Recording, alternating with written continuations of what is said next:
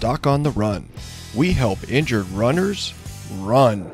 I dropped a piano on my foot. Will I run again?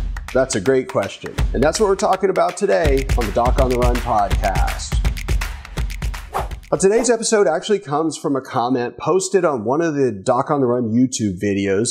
And the video that he watched when he posted this question was Will I run again after broken metatarsal surgery?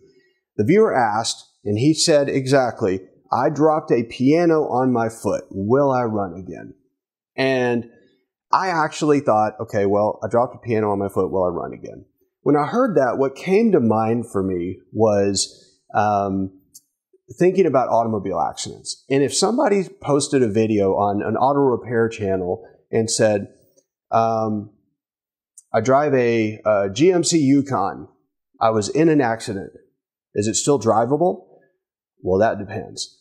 Um, did you hit a mailbox when you were leaving your driveway and you like left a scratch on the driver's side door? Or did you roll it on the freeway uh, running off the side of the highway? Very different pictures, right? Still an automobile accident. And if you drop a piano on your foot, maybe it break your pinky toe. Maybe it would completely crush your foot totally. I had no idea. And so when I read this, I actually thought because this was about uh, from the a question on the video, will I run after broken metatarsal surgery? I actually thought this person was being facetious and that it was a joke. And what I said was, I don't know. I think it'd be very difficult to you to run with a piano on your foot. Because I don't even know if the piano's off his foot yet or not, right? And again, I thought this was a joke. I wasn't trying to be a jerk. I wasn't trying to upset him. And he actually then replied and said that no, he had he actually had uh, a third metatarsal, the middle one, this bone right here, that he had a clear break halfway through along the shaft. So basically, I'm guessing somewhere around here. And then he, had, he actually added some additional details saying that he'd seen an orthopedist, that they said there was no need for surgery, he'd been out of the boot, and that basically it sounded like the doctor at that point, after this thing had, I guess, gotten better based on the orthopedist's uh, evaluation or x rays or something, uh, that basically the doctor said goodbye to him and kind of blew him off. And so he was frustrated. And I'm sure that my comment um, not understanding this was a real question, also frustrated him more. And, you know, I, I know that um, it can be very frustrating when you're not getting the same information that you need from a doctor. But what I didn't really understand was why he got so upset with me. And, you know, then he sent a reply and he more or less demanded to know um, what my recommendation would be, given that he had given me more information and more detail in his additional comments that he added.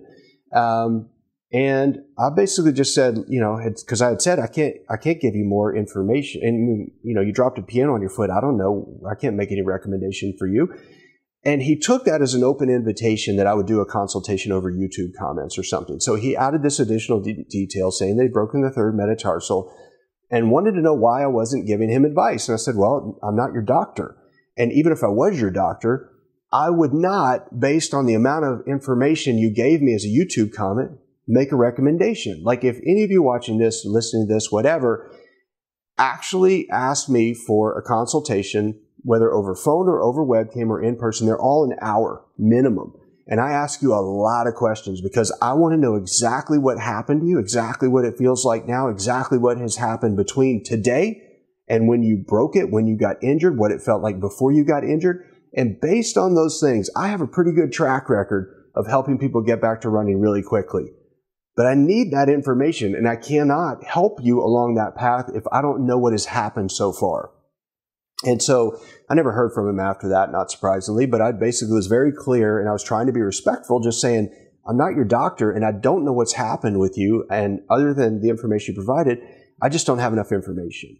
And so the things that, that you have to know, you know, what you really need to think about and the things you need to you know, ask your doctor when you see them, particularly if the doctor's kind of blowing you off, like this guy got blown off by his orthopedist, is that, you know, you, you need to know, um, you know, is the bone really healed enough that I can run on it? Is it, it, you know, what do I have to do to maintain my running fitness to get back to running as the bone is healing?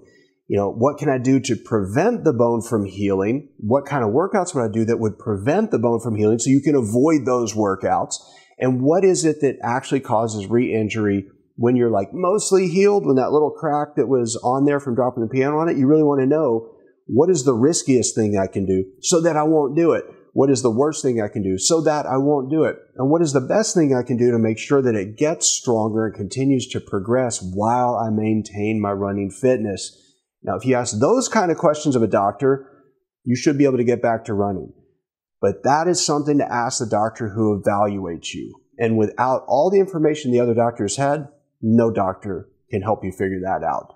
So think about the things that actually get you from point A of injury to point B of running without pain and think about all the things you need to do to focus on to maintain your running fitness, get the bone stronger, and not re injure it again along that path.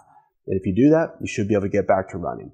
If you want to know more about those strategies I use to help runners actually do that when they get fractures of the metatarsals, it's all in the Stress Fracture Masterclass. Exact same strategies I teach to physicians at medical conferences when I go lecture. You can get it for free if you go to docontherun.com slash stress fracture masterclass.